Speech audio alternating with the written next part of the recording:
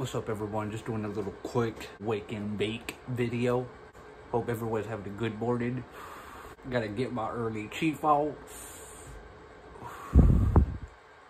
That's one of the good things about working for yourself and not working for a corporate. You can do whatever the hell you want to do, which I appreciate that.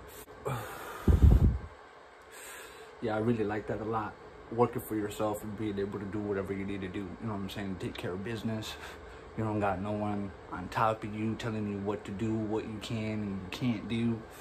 You know what I'm saying? I'm over here just having a good time, just posting stuff online to sell. Just want to show you guys real quick what sold today. Um, a few items sold, and it's one of the ugliest items that I picked up. I wasn't even sure about picking this item up, but I just, me and my girl were talking, and I showed her the shoes and we got to a uh, agreement on buying the shoes.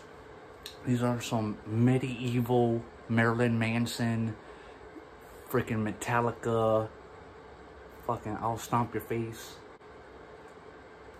But these ugly ass shoes sold. I bought these ugly ass shoes for 19.99, and I turned around and sold them for 75 bucks online. $75 these ugly shoes.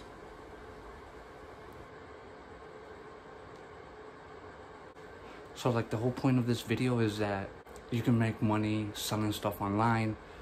I bought this like about a month ago and it just sold for 75 bucks. I'm really happy for that. Uh, I just want to show you what's the ugliest item that sold and it's that.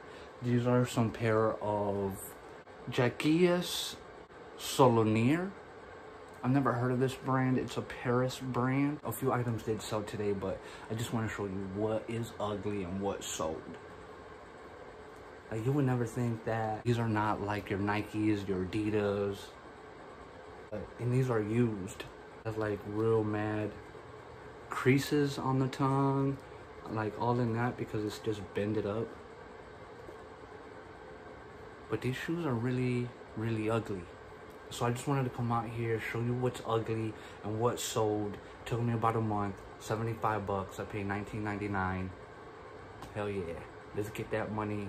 Good morning to everybody. Hope everyone's having a great day. And let's wake and bake. Oh no. Well, y'all don't have to. I know I will. Peace.